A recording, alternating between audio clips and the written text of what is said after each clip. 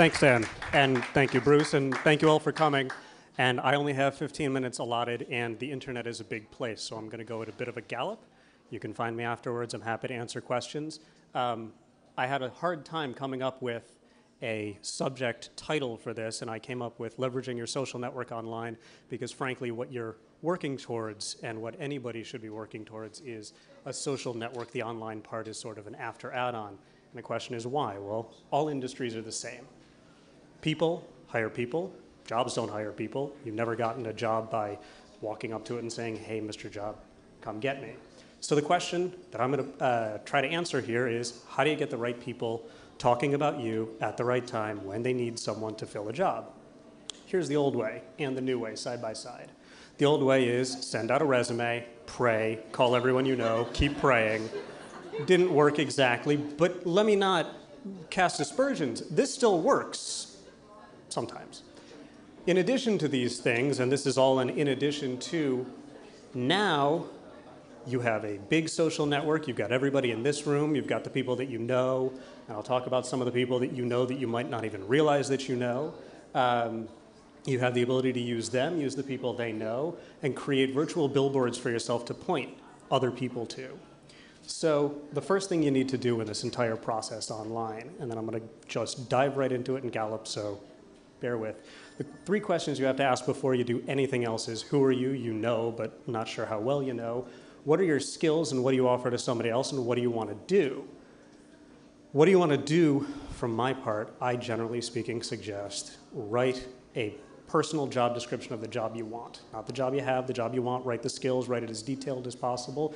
That gives you two different things that you can do with it. One, it focuses you. And two, when you reach out to these people in your social network, you can say, well, this is what I'm looking for, and these are my skills, and this is how they marry up. All right, straight into the meat there's a four step process. This is basically how do you find people, how do you let other people find you, and how do you then get the word out.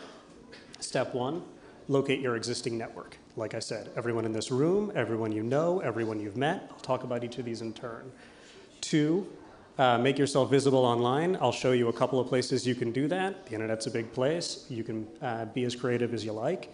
Three, uh, expand and maintain your existing social network. The people you know know people. The people you know, the people uh, that you know also uh, you're not necessarily as in contact with as you could be. Uh, and finally, once you've done those things, start to broadcast yourself both to your own network and to other people's networks. So diving right in, how do you locate your own network? Does anyone in the audience know how many people total they know? I have a current running count. My number is reasonably high, and I have two running counts. One of them is on Facebook because they automatically count that for me. The other one's in my personal address book on my computer, and that is my go to place for everything I ever learned about anybody. I can't talk about it in detail, but I'll get to why address books are important in a moment. But in addition to the people you know directly, you know a bunch of people in your social networks. Nothing here is new. You know your fraternity brothers, your sorority sisters, you do volunteer work, you know a lot of people. Question I have is Is your list up to date? I had about 100 people I hadn't heard from in over a year. So I sent them an email the other day. I wrote a little template email and I said, Dear, and then I filled in each person's name. This is what has happened. I just graduated from grad school. What's going on with you? By the way, is this email address correct? And is the rest of this information correct? I got back about 50 replies on that, which is not a bad strike rate.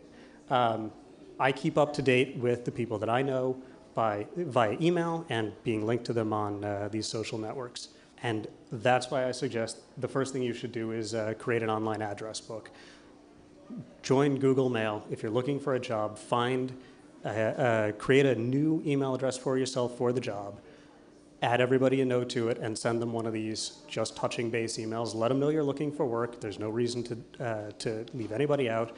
Everyone you've ever met, everybody you've ever uh, spoken to, and if the contacts are dead, so be it. But if they're not, keep it going. Um, and the most important piece of this is this here, this locating your network is what you're going to build everything else on.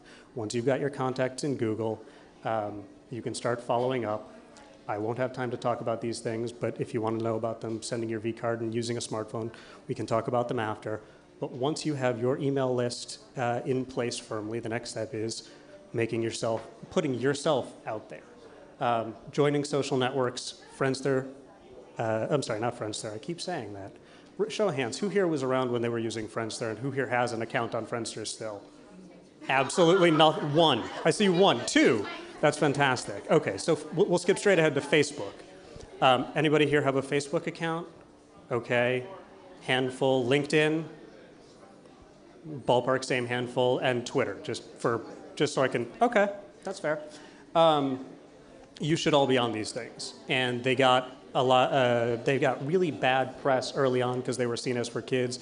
They're not anymore. They're for adults. I'll get into each of them in turn. Again, these things I'm not going to have time to talk about. This is part of a larger talk, uh, but do come find me afterwards.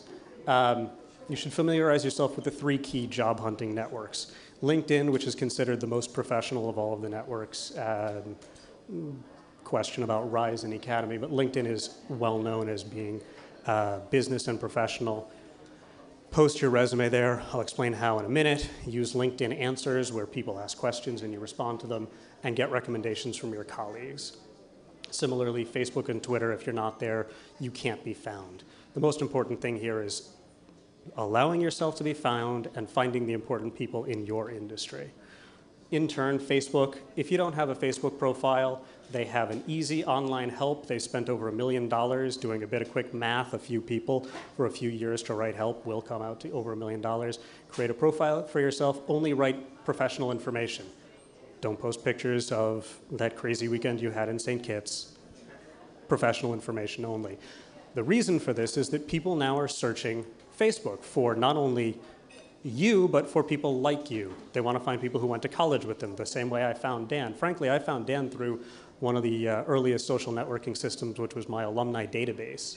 Um, it's the same principle. An alumni database is the same principle as Facebook. Create a profile, add whomever you know, and uh, then you can start expanding your social network by joining groups that are relevant to your uh, professional experience.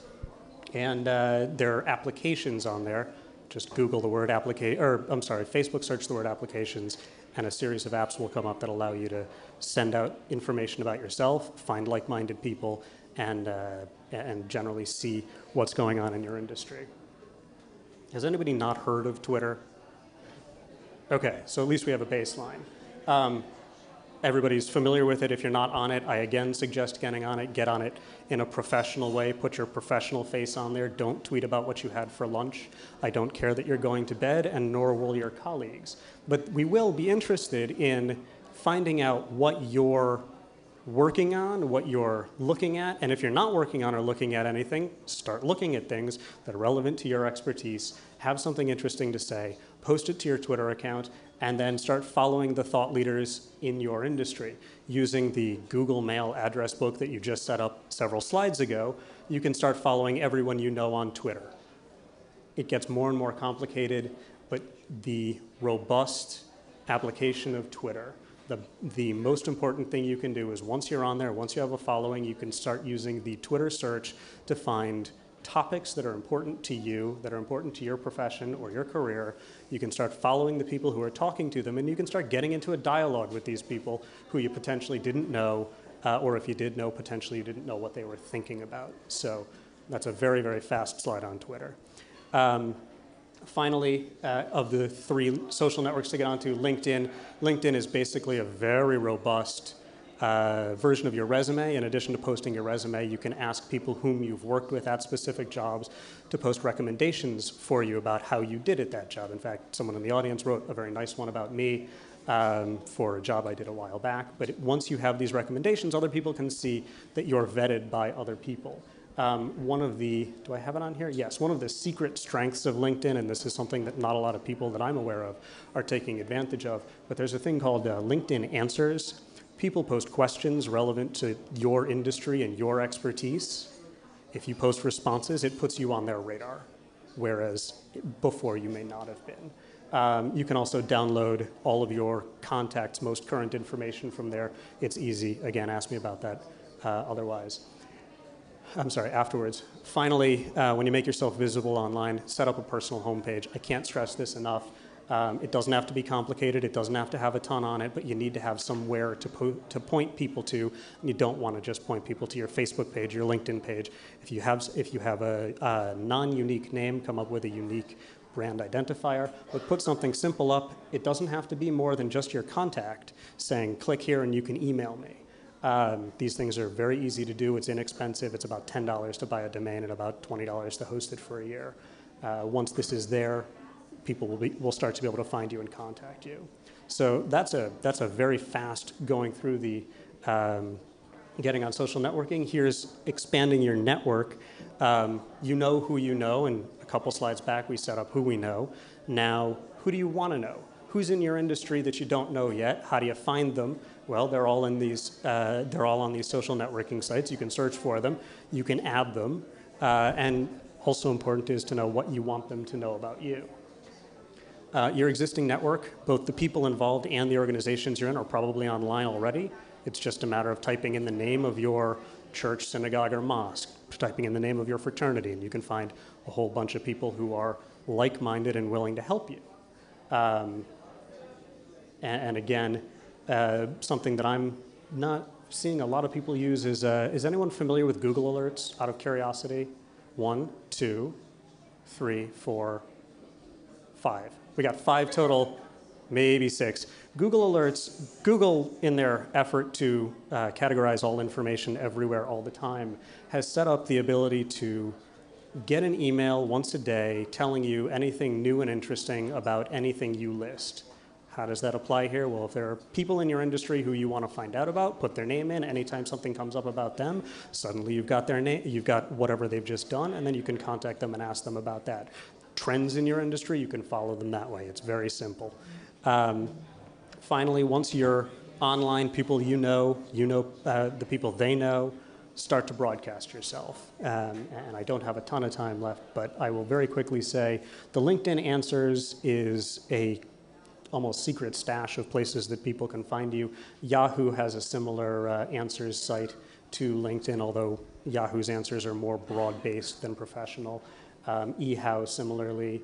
There is software that we can talk about afterwards that will help you do all of these things. Um, there are, as I mentioned before, applications on Facebook that'll help you specifically with this social networking. Um, finally, the most important thing I can tell you is to follow up or fail. You're going to meet a dozen people here tonight, two dozen people here tonight. Find them online. And I, I propose, and my next slide is my name and uh, email address, but I propose that you start finding everybody else and add everyone you know online. Send thank yous via Twitter to people who, are, who say nice things about you or do something useful via the at symbol and then their username. Um, update your Facebook status saying thank you regularly. Just make sure that people know who you're in contact with and be in contact with the people uh, who could be potentially helpful to you. And that takes me in under 15 minutes. I do. Uh, I will be here afterwards to answer questions. Um, if there are any right now, I have about a minute left, but otherwise, I'm ready to hand on to Dan and uh, move forward.